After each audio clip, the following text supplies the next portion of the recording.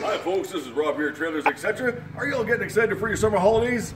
I know as I am. Did y'all get your brakes and bearings and making sure all your electrical was working? To give you that peace of mind on the highway this year? Come on down to Trailers Etc. We are more than just sales here. We are service.